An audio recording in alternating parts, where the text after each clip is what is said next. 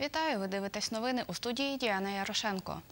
Майже 20 мільйонів гривень сьогодні боргує фонд соціального страхування людям, які тимчасово втратили працездатність. Про це повідомила заступник начальника управління фонду соціального страхування України Тернопільської, обласно... Тернопільської області Наталія Найчук. За її словами, станом на 30 липня залишається непрофінансованою заборгованість терміном на 30 днів.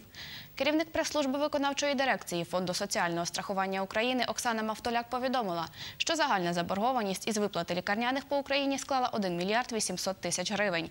Борг накопичився через те, що минулого року фонд соціального страхування недоотримав від надходження частки єдиного соціального внеску майже 800 мільйонів гривень. Аби частково погасити заборгованість, Кабмін на серпень збільшив частку на виплату з тимчасової втрати непрацездатності на 14,2%.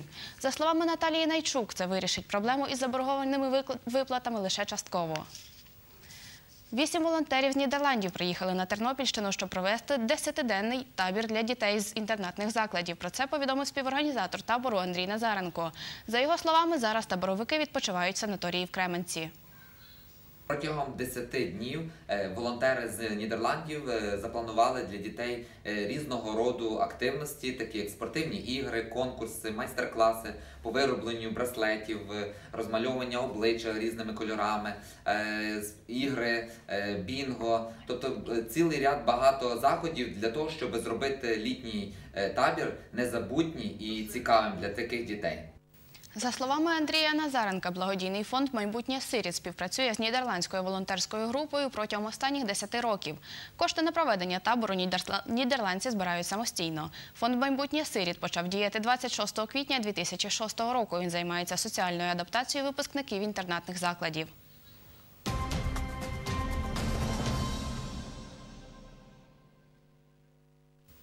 160 рятувальників із 16 областей України змагатимуться за Кубок України з пожежно-прикладного спорту.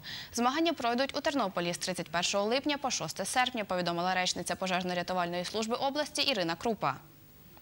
Найсильніші та найспритніші рятувальники в складі 16 команд з різних куточків України долатимуть смугу з перешкодами, здійснюватимуть бойове розгортання, підніматимуться на швидкість по штурмовій драбині на четвертий поверх навчальної башти.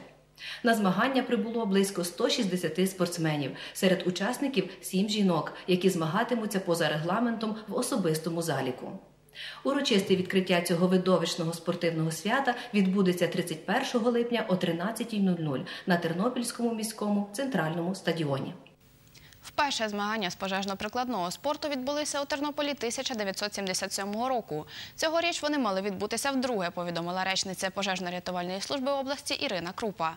На цьому мить у мене все для вас працювала ведуча Діана Ярошенко. На все добре.